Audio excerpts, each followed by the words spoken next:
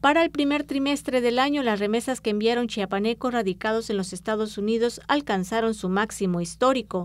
Esto hizo que Chiapas se ubicara en el tercer lugar nacional en su captación después de Michoacán y Oaxaca. De los 2.012 millones de dólares que generó eh, la entrada de remesas, Chiapas tuvo un porcentaje arriba del 15.5%, que si lo comparamos con el trimestre el último trimestre de 2014 tuvo un avance del 3.5 en captación de remesas. Esta tendencia a la alza se debe a la recuperación de la economía en el vecino país del norte, que permitió que los chiapanecos se ocuparan en labores del campo, la construcción y limpieza. Para cierre de 2015 las expectativas son bastante positivas. Se espera prácticamente que las remesas estén por arriba de los ingresos petroleros. De seguir esta tendencia, este comportamiento positivo, de las remesas se van a convertir en la primera fuente de divisas, superando a los ingresos petroleros y al turismo este, nacional. Los municipios donde se registró un mayor número de captación de remesas son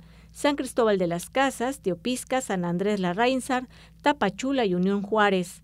Estos ingresos representan actualmente el 3.5% del Producto Interno Bruto del país y en Chiapas pasaron del 0.9 al 0.4% del PIB interno. Claudia Cantonchiu, 10 Noticias.